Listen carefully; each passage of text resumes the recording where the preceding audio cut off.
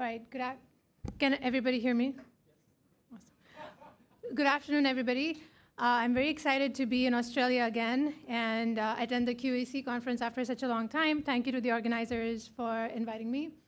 Um, so today I want to talk about good qubits and good error correcting codes. Uh, this is more of a question rather than me trying to give an answer.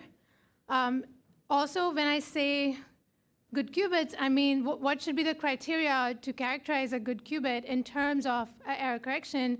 And when I say good error correcting codes, I mean depending on the noise that you have, what is the right code uh, to implement.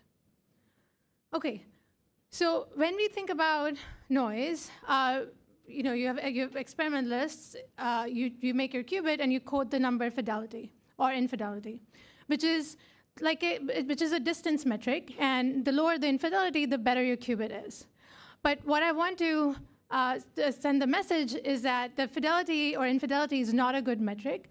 Uh, if you think about error correction, maybe the right thing to think about is the capacity of the noisy uh, channel that acts on your qubit. So let's say uh, if you have a, a IID Pauli noise channel where uh, each uh, the qubits suffer from Pauli x, y, or z errors at rates px, py, and pz. Uh, then unfortunately, we don't know what the quantum capacity is, but we can find a lower bound for it, which is given by the, the hashing bound, which is the formula over here, which is 1 minus this, this strange-looking object, which is just the Shannon entropy uh, for the probability distribution defi defined by the probability of errors.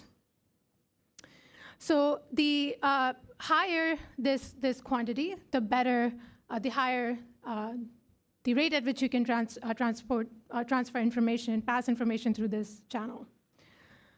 Uh, you can also have, for example, what is called an erasure channel, where you can think about the qubit uh, 0 and 1 states are replaced by some erasure state, and you as a user get a flag that you know that this error has actually happened. So you know the location of the error, you still don't know what actually happened, you still need to go back and fix the qubit.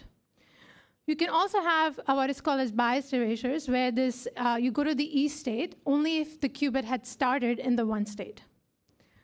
Uh, so it turns out that if you have um, erasures, then you can actually exactly know what the capacity of the channel is. So for uh, just the standard erasure channel, the capacity is 1 minus 2 PE, where PE is the probability of an erasure. And for the bias erasure, it's 1 minus PE. These quantities, 2 PE and PE, are also related to the entropy. So uh, let's look at the capacity plotted for some different channels. Uh, so the red line is for Pauli channel, which, uh, a depolarizing Pauli channel where the probability of x, y, and z errors are the same. The blue line is for uh, a biased noise channel where I, where I only have z errors and no x and y errors. And then the green and the uh, orange line are for erasures and uh, biased erasures. So you can clearly see that for the same amount of error, the same rate of error P or PE, the biased erasure channel has the highest capacity, then the erasure channel, then the Pauli channel, and then the depolarizing channel. So in this sense, even if you give me one number, the infidelity of the channel, that's not sufficient because that infidelity would put all these uh, uh, channels on this, you know, e uh, equally good or equally bad. But if you think about the capacity, then clearly we have one winner. Um, also, when this capacity uh, crosses the zero line, so uh, when the capacity becomes zero, that also gives you the threshold for error correction. Um, Okay, so let's pl plot the threshold. Let's assume that I have uh, Pauli noise, and I'm going to assume bias Pauli noise, uh, where eta is the ratio of the z errors to x and y errors, and p is the total probability of errors. So I can calculate, uh, I can find out when uh, the capacity becomes zero, uh, and that number, the, the p total, the p for which the capacity becomes zero is the threshold, and that's what I'm plotting here as a function of eta. Clearly, as eta becomes higher, the threshold increases. So higher the bias, higher is the threshold, easier the channel is for you to error correct.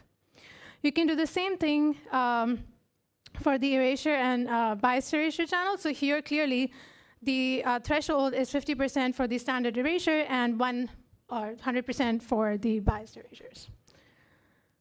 You can also have uh, a channel where you have erasures plus Pauli noise. So you can have erasures at the rate of PE, and then the remain you have some amount of Pauli noise if an erasure doesn't happen. And here, uh, in, in addition to the total error rate, which is PE plus P Pauli, you can define the error fraction, the erasure fraction. So erasure fraction being one means all errors are erasure errors, and erasure fraction zero means all errors are Pauli errors. So here again, I can calculate the threshold, again, a lower bound on the, on the threshold as a function of RE for uh, biased erasures and erasures. And again, biased eras erasures have a higher um, threshold for a given uh, erasure fraction. Okay. Another nice thing about um, uh, the erasure errors is not only if you compare the plot on the top and the plot on, plot, on the bottom, uh, you see that the thresholds for uh, biased erasures are really high. Uh, but in general, for erasures, another nice property is that if your code can correct for some number of Pauli errors, it can correct for twice as many erasure errors. So again, an erasure noise channel is more desirable. So my request to all the experimentalists is that when you give me, when you describe your noisy qubit to me, don't tell me just one number, fidelity or infidelity. Describe, give me some more information about uh, what the, the, type of your noise is. At the moment, we only know capacities for very few channels. Um, uh, and in fact, like we don't even know capacities for non-IID uh, channels. So we should, as theorists, look for finding new metrics, which is not a distance metric, but which captures the structure of noise uh, in your system. That metric should be analytically calculable. It should be, you should be able to generalize it to different types of noise channels. And you should also be able to measure it uh, efficiently, experimentally in the lab. I don't know the answer to that question. I don't yet know what that metric is. Uh, our suspicion uh, in, in um, uh, my discussions with Steve Flammia has been that uh, it's some sort of an entropy measure. Okay. Now, a lot of people uh, design new types of qubits, uh, especially like in the bosonic plat platform. You can, in, in a bosonic qubit, you can design it to have, you know, you, you, correct for leading or leading order errors. Um, and if the physical errors become um, uh, first order corrected, but the remaining errors are second order. Uh, so you can, for example, um, you can have a binomial code where if the physical error rate is p, then uh, after performing error correction on the binomial code itself, the remaining errors are depolarizing in nature and scale as p squared. You can also maybe design a bosonic qubit where the dephasing errors is p squared. Uh, and in the same bosonic system, you could otherwise encode a qubit which has erasure channel or a biased erasure channel where uh, the, the probability scales linearly with p physical. So now the question is, what is the best qubit in your bosonic system? Or this, I'm just giving an example of bosonic platform, but I'm sure in, in your own platform that you work with, there are different ways to encode a qubit, and you need to decide what is the best qubit uh, that you could encode in your system. So if in this case, I plot the capacities as a function of p physical, these are the plots that I get. Uh, so clearly, for low physical error rates, like all of these four channels kind of look similar. But for high enough rates, the bias erasure channel still has a higher capacity than all other erasure channels. So if there are multiple ways for you to encode a qubit in your system, it, with, with such uh, uh, error rates, uh, like I've, I've used here, Again, biased erasures wins. So try to design a qubit that has biased erasures. But again, like how your uh, errors scale in your system with the physical error rate can be different, and maybe in your system, it's better to design uh, a dephasing uh, channel rather than biased uh, erasure channel. But it all depends on the details of your system. So again, carefully analyze the noise in your system to decide what's the best qubit you can make. Okay, so it seems like the biased erasure channel is really good. Um, so here we present a uh, work uh, in collaboration with Jeff uh, Thompson's group from, from Princeton, where we design a qubit in our neutral atoms, where the dominant erasure, uh, the dominant noise channel is biased erasures. So what is this qubit? So this is different than the neutral atom uh, qubits that you've been uh, hearing about in the last few days. So the idea is to encode the qubit in the metastable states of your atom rather than the ground state of your atom. So I, I choose these metastable states. Uh, I, I just call them 0 and 1, whatever these states are. And they still have long lifetimes. Um, so when the qubit is in these metastable states, they don't really interact with each other. So if you want to do gate operations, you again excite uh, the qubit into the Rydberg state. So in particular, you excite the one state to the Rydberg state. And that's when the qubits start talking to each other. And you can do uh, gates via Rydberg uh, blockade. So you can do control Z gates, for example. Now, the main source of error is this Rydberg state decaying to other states in the system. For example, it can decay to the ground state of the atom. So now all you do is monitor whether this ground state transition has happened via applying, uh, you know, by seeing a fluorescence, by applying some uh, laser at some specific frequency. So that laser that you apply to check for erasures, which, which I call erasure conversion pulse, that doesn't disturb the qubit if it was in the co computational subspace, but it if it had leaked to one of these other states, it will detect it. So this is uh, a biased erasure qubit because the um, you, you go to these other subspaces only if you started from the one state, because only the one state couples to the Rydberg state. So the main source of errors here is uh, errors from the two qubit gates. And after every two qubit uh, control Z gate, I, uh, th there's a chance that you know the atom uh, is, is went to one of these other subspaces. I just apply my uh, erasure conversion pulse, and if I see that the atom has actually uh, in one of the ground states or some other state, I put in a fresh atom prepared in the one state and continue with my protocol. You can show that this atom replacement uh, basically looks like an identity or a Z error uh, in your system at a known location. So that's it's, it's equivalent to applying an identity or Z error with 50% probability on that uh, specific qubit. Okay, so the noise channel of this control Z gate is with some probability PE. I apply an identity or Z errors on the one of the two qubits. Uh, and if there's no erasure, then I just assume it's a depolarizing noise channel. Uh, in this system, we predicted a um, uh, erasure fraction of about 98%. Uh, recently, uh, in Jeff's group, they actually demonstrated erasure conversion in, in this uh, ytterbium atom qubit. Uh, we are not quite at the 98% level there, but we are getting there, and you can ask more questions about that to Jeff. Um,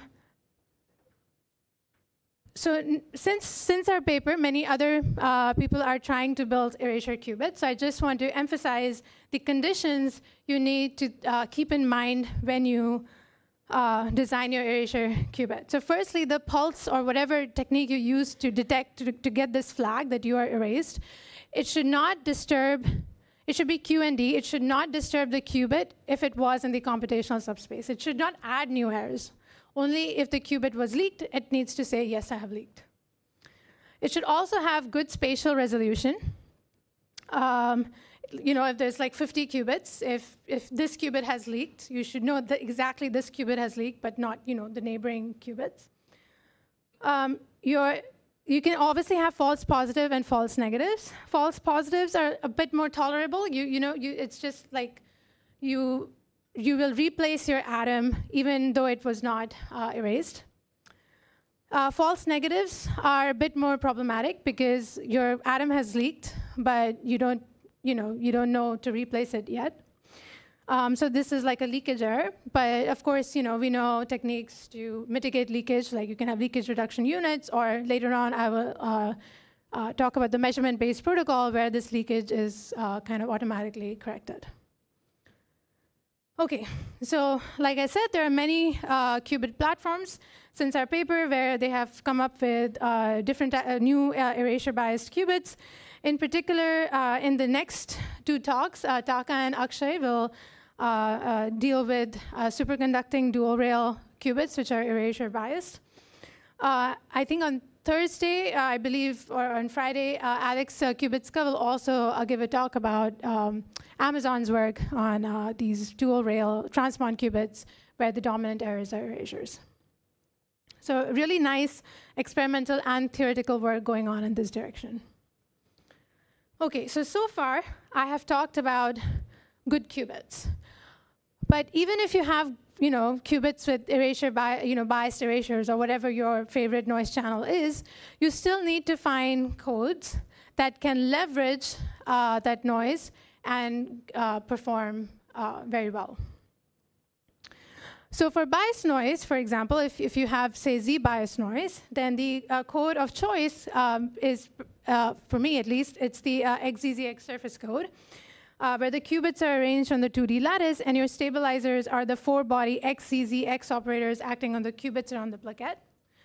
Uh, you can uh, choose the height and the length of this lattice depending on how many X errors or Z errors you want to correct. So if, you, if there's no X errors in your system, uh, there's only Z errors, then you can just have this one line of qubits and it just becomes a repetition code.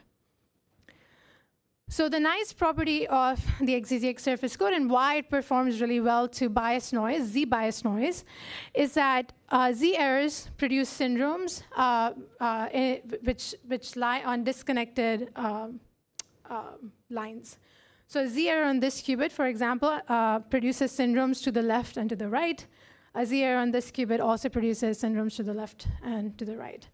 To produce a vertical syndrome, you need to have an X or a Y error. And so if your X or Y errors are suppressed, then vertical syndromes uh, don't arise. You only have these um, chains uh, uh of defects. And it's easier to decode the, uh, these errors.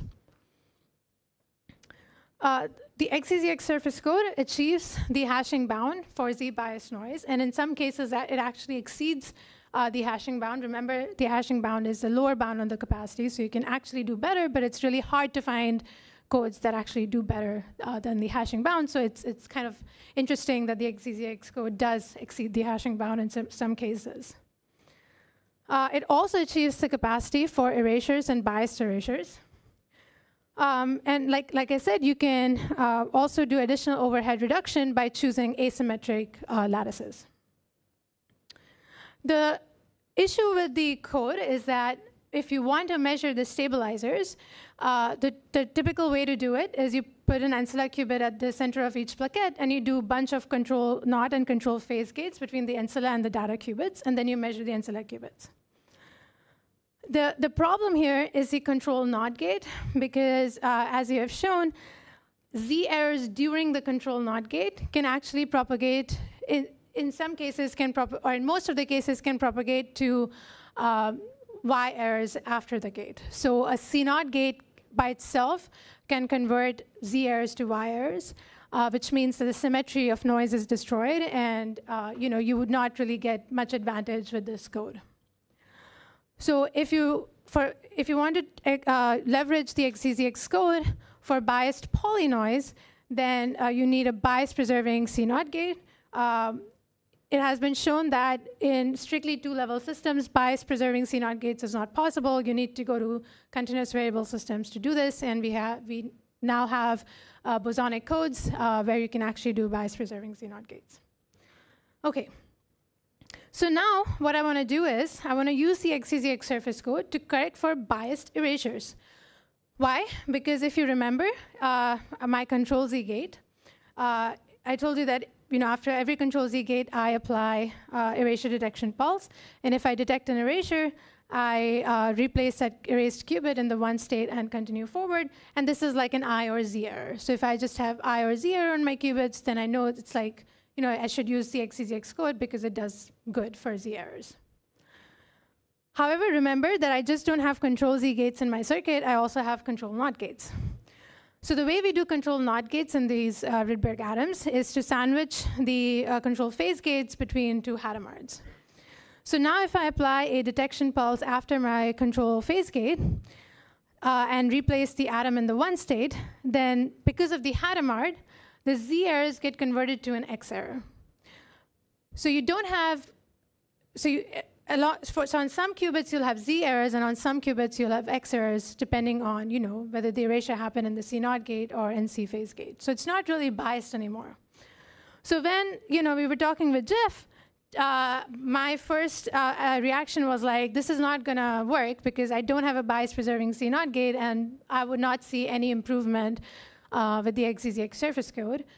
Well, fortunately, Jeff did not listen to me, and the calculations were done anyways.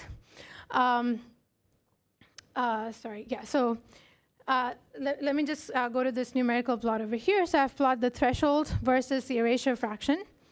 The blue dots are when I have unbiased erasures, like remember, remember the standard erasures.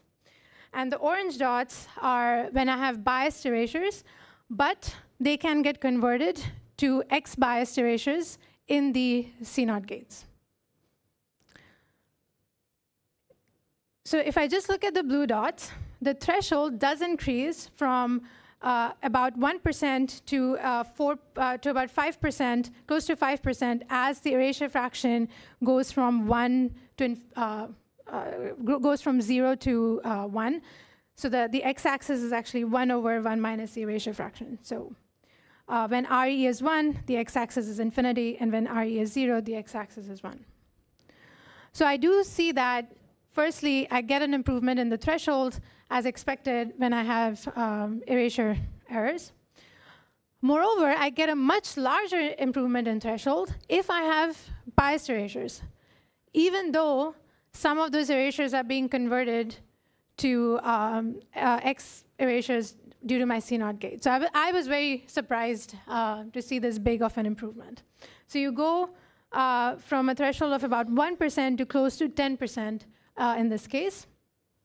And uh, for an erasure fraction of 98%, which is what we expect uh, in, the, in the neutral atom system, the threshold can be uh, close to about 8%. So it's, it's, uh, it's, it's, it's quite a big improvement. Okay.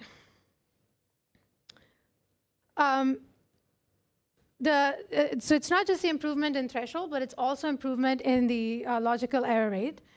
So here I'm plotting the logical error rate for different distances of the code as a uh, function of the physical error rate. Um, the solid lines is when I have standard erasure errors, and the dotted lines is when I have Pauli errors. So firstly, clearly, by going from Pauli errors to erasure errors, I get a much larger suppression uh, in the logical error rate um, for the same distance and, and same uh, p-physical. So that's good. And, and uh, over here, for example, it's almost two, order, two orders of magnitude improvement in the logical error rate. Moreover, if I compare the uh, standard erasure to the biased erasures, I get further reduction in the logical error rate. Um, so, um, so in some cases, it's, it's almost an order of, actually, almost two orders of magnitude here even. So again, showing that it's better even for logical error rates, not just the threshold, to go from Pauli noise to standard erasure noise to biased erasures, biased erasures being the best. Okay. Uh, so can we do better uh, than, this, than this, the, the results we have so far? So what's disappoint what was a little bit annoying to me was that because my z-biased erasures are converting to x-biased erasures, I cannot make an asymmetric XZX code anymore. Because I have typically the same number of z errors as uh, x errors, so I need to make the z distance and x distance the same, and so I have to use a square XZX code. So I'm not able to fully um, leverage the symmetry of the XZX code uh, for overhead reduction.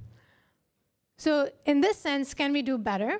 Can we somehow preserve the symmetry of the XZX code, get high thresholds, and reduce the overhead by making an asymmetric lattice? Um, so the answer to this question is yes. But we have to do a different model of uh, quantum error correction. We have to do measurement-based model of quantum error correction and not circuit-based model of error correction. Uh, so with that, I will introduce the so-called XZX cluster state uh, which is what our measurement-based model of error correction is based on. Uh, so the XZX cluster state is, uh, if, if you know the regular RG cluster states, it's just a, uh, uh, it differs from the RG cluster state by just local uh, Clifford deformation. So you can think about this whole cluster state as uh, made up of small unit cells. Uh, the unit cell I've shown over here. The stabilizers are the, uh, uh you can check for errors by multiplying um, uh, measurements of the qubits on the faces of this unit cell. And I'll, I'll tell you a bit more about that in just a second. So in a sense, what this cluster state does is that on the first plane, you, it's like an input XEZ surface code. And now you measure all the qubits, uh, all the uh, qubits that are shown in black dots in the X bases, and all the qubits that are shown in white circles in the Z bases. And when you do this measurement, in effect, the surface code gets teleported, uh, the surface code from the first layer gets teleported to you know, the final layer. Um, and as you do this teleportation, you need to do error correction, and that error correction is performed by multiplying the X measurement outcomes on the black dot qubits with the Z measurement outcomes on the uh, white circle qubits as I have shown over here, that are on the faces of the unit cell. Even though I've shown a like a 3D structure over here, you can actually just implement the cluster state, you know, uh, you can, uh, with just like a thin slice uh, of qubits. Just having, just have two layers of these, um, uh, just have two layers of the qubits and just teleport information back and forth in time and build the cluster state that way. Okay, so now what happens to noise in the cluster state? If you have Z errors, uh, only black dot qubits are affected by Z errors. Uh, the Z errors create syndrome in the uh, front, going from front to back uh, on some qubits, and on some other black dot qubits, it goes creates syndromes going left to right. But on no qubit does it create a syndrome going up and down. So the syndromes that are, create, uh, are generated are only lie in a two-dimensional plane. And this symmetry helps you to do better error correction for Z noise. If you have X errors, then that breaks the symmetry and creates syndromes that goes up and down. But if, you, if these errors are suppressed, then you will still get uh, high thresholds. Okay. So now we want to use this uh, cluster state for error correction, but the way we will build this cluster state is, is using what we call hybrid fusion architecture. If you're familiar with the fusion architecture, for example, used by PsiQuantum, it's just a variation of that. So the idea of this uh, uh, fusion, hybrid fusion architecture is that you start with small um, uh, entangled states, several copies of small entangled states, and then you stitch them together using Bell basis measurements, so uh, measurements of two qubit XX and ZZ uh, operators, as well as some additional control Z gates.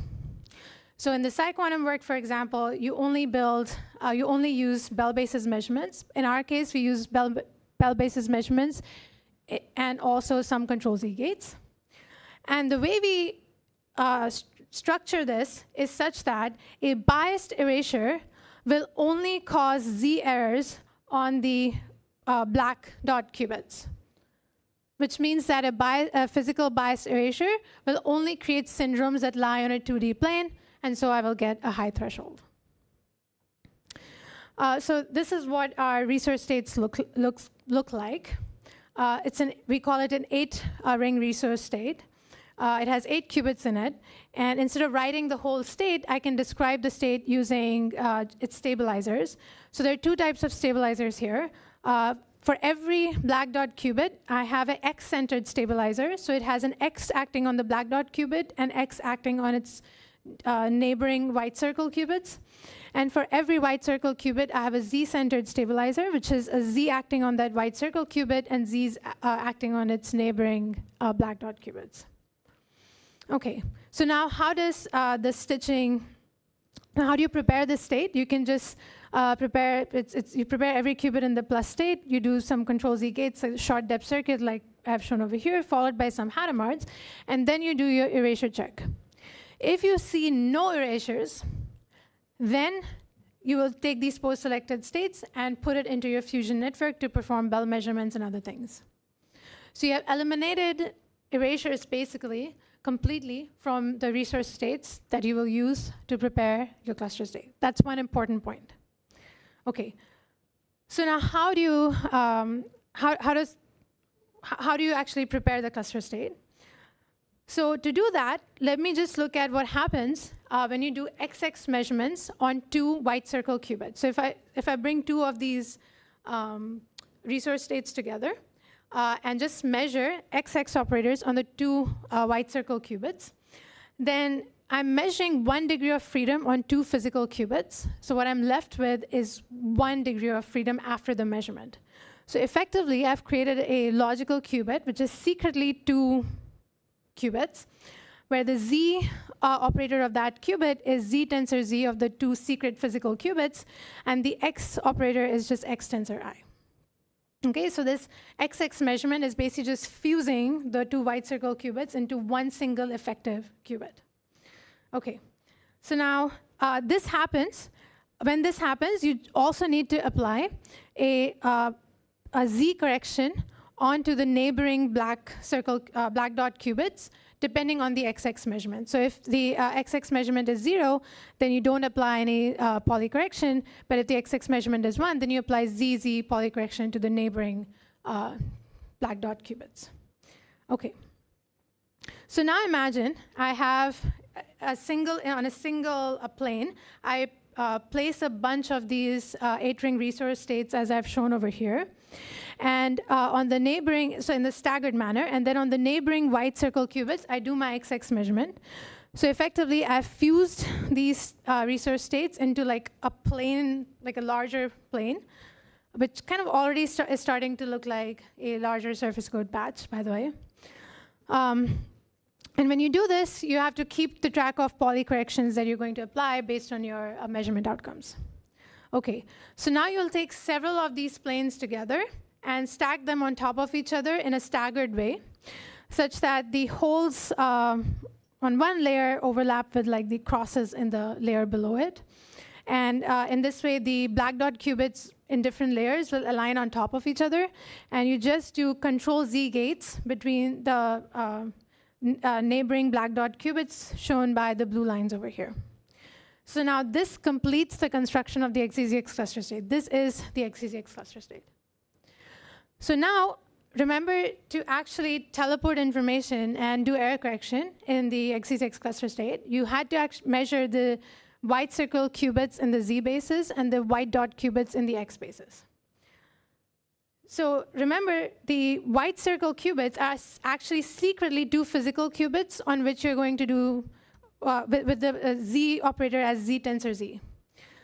So that means that here you're going to measure Z tensor Z uh, in order to actually measure an effective Z. But in step two, you actually measured X tensor X.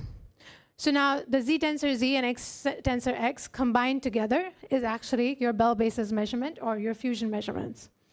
You could have actually done these um, uh, two measurements together in step two directly uh, because the, the final measurements actually commute with everything that you're going to do in the, in, the, in the middle steps.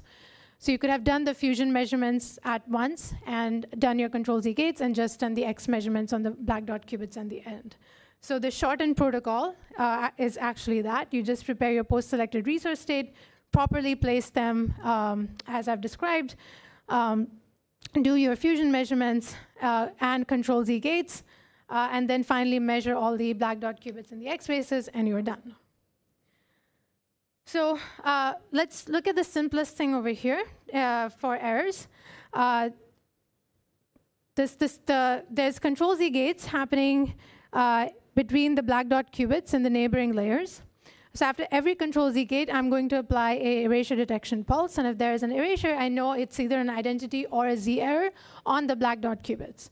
So again, I've only applied a Z error on the black dot qubits. Now what happens if you have a fusion measurement? It turns out that I can design a fusion measurement such that if there is an erasure, if there's a biased erasure on any of the qubits, then it only erases the XX measurement information, but I can still recover the ZZ measurement information. Now remember, the XX measurement decides the Pauli Z correction that I'm going to apply to my black dot qubits. So if I've lost my XX measurements, that means I'll apply a wrong Pauli Z to the black dot qubits. That means I've converted uh, the, uh, uh, th that means that only black dot qubits are going to get affected uh, by erasures. White dot qubits are not going to be affected by that. That means that the syndromes would be generated in a 2D plane. Okay, but let's see what this um, uh, fusion circuit uh, actually is. So uh, I want to perform a fusion measurement on qubit i and qubit j. I will place an ancilla prepared in the plus state, and I will do control Z gates, as shown. Um, in between each control Z gate, I will have a, a erasure check. I'll measure the ancilla in the X spaces. Um, and so if everything has gone fine, there's no erasures detected, then I, the X spaces measurement of the ancilla will tell me the ZZ measurement of qubit i and qubit j. I will then measure qubit i and qubit j individually in the X spaces and multiply them together to get the XX measurement, uh, the effective XX measurement. So this is uh, this will be a destructive measurement, uh, destructive fusion measurement. Okay, now if there is an erasure, however, suppose there is an erasure at this point, so then uh, what I will, there's no way for, uh, the, uh, so I, there's no reason for me to measure the ancilla in the X spaces anymore. It's, it's not there. So I just go and measure qubit i and qubit j in the z basis. So I can just multiply the z measurement outcomes to get the zz information. I cannot there's no way for me to recover the XX uh, measurement information, but I still have the ZZ information. The XX measurement has been completely erased. So in fact, anywhere in the circuit, if you see an erasure, then you just stop the circuit there and just measure qubit i and qubit j in the z basis. This will allow you to recover the z, uh, z measurement information, but it will not allow you to recover the XX measurement information. Uh, so this means that you will apply a wrong Pauli Z to your black dot qubits. Uh, and this is effectively a ZZ, correlated ZZ error uh, on your black dot qubits. Okay, but again, the, the, the, physical erasures have only applied an error on the black dot qubits, and remember, that is exactly what this cluster state was designed to effectively correct. So let's see, in, uh, we, we, can numerically simulate this whole uh, thing uh, in a circuit-based uh, uh, in a circuit noise model. So every control Z gate has some erasure error, and if it if, if there's no erasure, then we apply uh, some depolarizing Pauli error to the qubit. So if uh, if the if RE is zero, there's only Pauli errors, then the threshold is about 1%. Whether you do circuit-based error correction or the fusion-based error correction, the threshold is about the same 1%. If you did the circuit-based error correction for RE of 98%, uh, the threshold was about 8%, like we saw in uh, one of the previous plots. But now if I do the measurement-based uh, version, this, this hybrid fusion-based version, then I get a threshold of about 10% uh, for an erasure fraction of 98%. Importantly here, the symmetry of the code is completely preserved. I never, if I, for pure Z noise, uh, no vertical syndromes are produced, I can still use a rectangular XZZX surface code and reduce uh, the overhead requirement. So I not only gain an improvement in threshold, but I also uh, gain, I, I re can reduce the overhead by using an asymmetric lattice. Uh, the other nice uh, thing about this fusion-based architecture is that you don't, uh, there's some ease in requirements about real-time atom replacement, uh, it, it automatically deals with atom loss and, uh, and other forms of leakage. Uh, specifically, if RE was 1, uh, of course, no physical system will ever have RE of exactly 1, but just as a theoretical exercise, if you assumed RE of 1, then the threshold with the uh, fusion-based approach is about 18%. Uh, it was about, uh, it, it, saturates to about 10% uh, in the circuit-based approach. So again, this is just showing that the measurement-based approach here is truly powerful. Moreover, with RE of 1 in the measurement-based approach, I could just actually use a repetition code. I could just teleport a repetition code rather than an XZZX code. Uh, I could not have done that for the circuit-based approach. For a circuit-based approach, even if RE is one, I absolutely need a 2D lattice. I cannot just use a single line of repetition code. Again, showing the power of uh, the measurement-based uh, approach. So in summary, um, think about uh, the noise structure of your qubits. Don't just think about the one number infidelity. Also, when you design codes, think about what error is the code trying to correct. Consider developing new, uh, uh, consider having right symmetries in the code that are designed to effectively detect the specific errors that you're trying to correct. Uh, there's actually nice uh, work uh, from Benjamin, uh, from Ben Brown, uh, related to symmetries and conservation laws uh, in designing error correction codes. I think that's a very nice paper. I urge you to read it. More, just yesterday we, have, we had a paper out where we used a similar idea of preserving symmetries to actually um, mitigate the temporal boundaries, uh, the, the, the, issue of temporal fragilities uh, in the XY surface code. Um, I don't have time to talk about that, but if you're interested, please go take a look, and I'll stop here.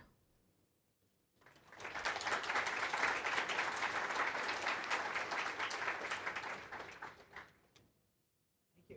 We have time for a few questions. Hi, thanks for the, the great talk.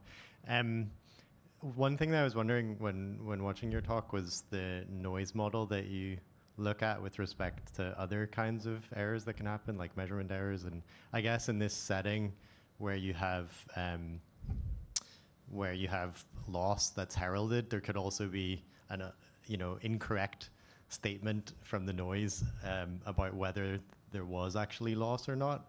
Um, and you, I, I, don't know if you analyze that, but do you have a feel for whether these ideas would still work in that more general? Oh, absolutely. So you can have, for ex- like like I in one of the earlier slides I mentioned, you can have um, what is it the positive. Uh, false positives and false negatives, for example. So false positives is like there was no erasure, but you detected an er- you think you detected an erasure, so you you will kind of replace the uh, atom back in. Uh, it's it's fine. It, it still works. It just it just is an additional erasure rate. Like it's an user-induced erasure that you're going to apply. Um, so we just have to account. It's just the, the, base the base error rate kind of increases a little bit. Okay, but nothing goes catastrophically wrong. The, nothing goes catastrophically wrong. Yeah. Uh, false negatives is like again leakage, um, and in in this measurement-based approach, leakage automatically gets converted to Pauli errors. In the model, which is true in the atomic case, where uh, if one of the atom has leaked and if you try to do a gate to the other atom, basically nothing happens to the other atom. So in, in that way, leakage kind of effectively kind of becomes like a Pauli error on the uh, other atom. So it kind of automatically uh, gets corrected, but obviously increases the base Pauli error rate. Thanks.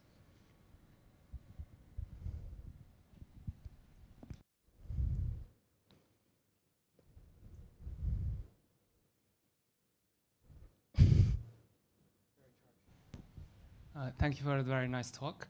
Um, for the noise entropy uh, discussion, I guess how does things like bias preserving and whatnot fit into that picture and a lot of these more detailed circuit level details? Oh yeah, great question. I'm not 100% sure, uh, but I think that you, we need some notion of entropy per gate operation or something like that. Uh, again, I, I, I, don't know. I, I don't know. Yeah. Thank you for the talk. So, your um, the way that errors propagate through the 3D ZX XZ um, lattice, similar to the RHG lattice, because the errors are propagating only in one plane. I imagine the decoder would have to have different logic. Have you looked at decoder performance for this type of code? Uh, so the errors are not restricted to one plane. The syndromes are restricted to disconnected 2D planes. Errors can obviously happen uh, anywhere. And so the decoder is tailored um, to the noise model. So, so here, like the numerical results I showed, it's, it's just a minimum weight perfect matching decoder, um, but it's just, it knows uh, that the vertical syndromes are generated at a lower rate than the horizontal syndromes, yeah.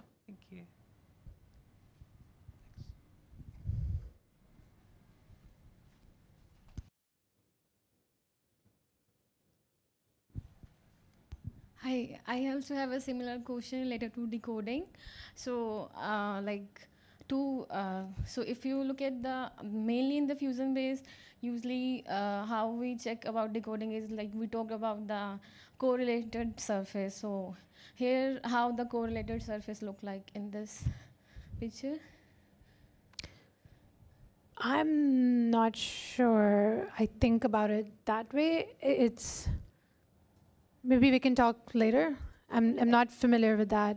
Okay, so Uh, I'm wondering then how you check that uh, your decoding is successful or not in your protocol. Oh, I just look at whether I created um, uh, the, whether I have strings going across my lattice or not. Like, do I have like X logical strings or Z logical strings or other? Okay, Yeah. thank you. Questions? Let's